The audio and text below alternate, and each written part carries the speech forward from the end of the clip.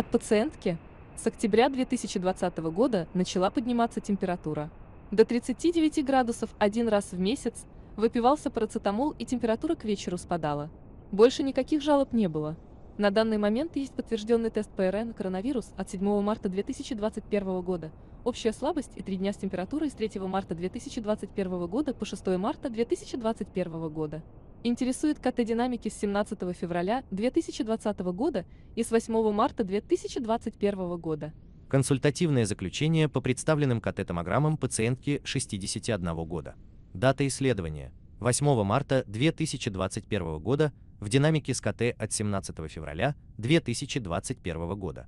Область исследования – органы грудной клетки при мультиспиральной компьютерной томографии с использованием реконструкции в сагитальной, аксиальной и фронтальных плоскостях, построением трехмерной реконструкции органов грудной клетки. Легкие расправлены. Пневматизация легочной ткани снижена за счет множественных участков инфильтрации по типу матового стекла на фоне ретикулярных изменений по типу булыжной мостовой, вовлечение в процесс легких, правая легкая, верхняя доля 5%, средняя доля 9%, нижняя доля 12%, левая легкая, верхняя доля 46%, нижняя доля 32%. Общий балл поражения легких 11. Ход и проходимость трахеи, главных и долевых сегментарных бронхов не нарушены. Средостение не смещено и не расширено, новообразований в нем не визуализируется. Внутригрудные лимфатические узлы увеличены и единичные паратрахеальные размером до 11 на 9 мм, в аортопульмональном окне до 14 на 8 мм. Жидкости в плевральных полостях не выявлено. Костных травматических изменений не определяется. В задних отделах левой половины тела TH9 с переходом на заднюю левую дужку определяется литический очаг аксиальным размером 16 на 9 мм, краниокаудальным 11 мм. Сердце расширено за счет всех камер, аорта без особенностей. По стенкам левой коронарной артерии немногочисленные кальцифицированные атеросклеротические бляшки. Диаметр легочных артерий 23 мм справа, 18 мм слева. Подмышечные лимфатические узлы не увеличены.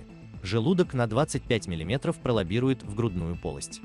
Заключение. КТ-картина двухсторонней полисегментарной, вероятно вирусной, пневмонии средней тяжелой степени тяжести КТ-2, с вовлечением в процесс 44% легких, лимфоденопатии средостения, кардиомегалии, атеросклероза коронарных артерий, грыжа пищеводного отверстия диафрагмы, литический очаг тела TH9.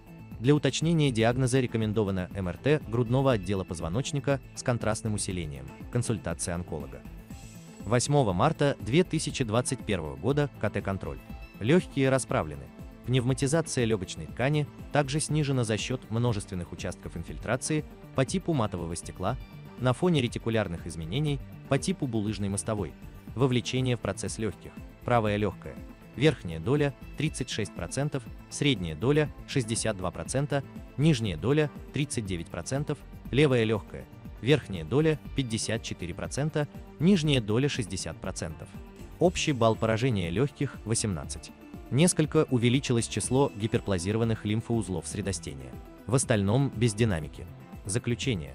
КТ-картина выраженной отрицательной динамики течения двухсторонней полисегментарной, вероятно вирусной, пневмонии тяжелой степени тяжести КТ-3 с вовлечением в процесс 72% легких, лимфоденопатии средостения, кардиомегалии, атеросклероза коронарных артерий, грыжа пищеводного отверстия диафрагмы, литический очаг тела TH9.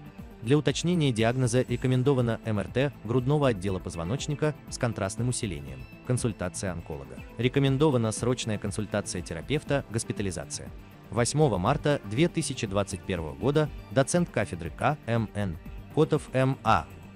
Комментарий врача-рентгенолога. У вас, по данным КТ, есть две сложности. 1. Быстро нарастает вовлечение легких в патологический процесс. Объем инфильтрации вырос с 44 до 72%. Тут необходимо вызывать скорую помощь и продолжать лечение в стационаре. В Санкт-Петербурге госпитализируют с поражением более 40% легких. 2. В девятигрудном позвонке у вас есть измененный участок, снижение плотности кости. Чтобы уточнить характер этих изменений вам имеет смысл сделать МРТ грудного отдела позвоночника с контрастным усилением. И вам нужно показать это заключение персоналу центра МРТ, чтобы они смогли более правильно спланировать исследование. И с результатами его имеет смысл показаться онкологу. Вопрос пациентки. Насколько я понимаю по тому заключению, что вы направили мне. После того, как мать выпишут из больницы, нам требуется консультация онколога, так как это может быть рак. На данный момент она находится в красной зоне временного коронавирусного госпиталя в Москве, и без улучшений по КТ ее оттуда выписать не должны. Ответ ХМН. Котова МА. В вопросе выписки не только КТ будет учитываться, но и результаты анализов, клиническая картина. Перед онкологом я бы советовал сделать МРТ, чтобы было с чем идти к онкологу, но в целом очаг выглядит крайне сомнительно.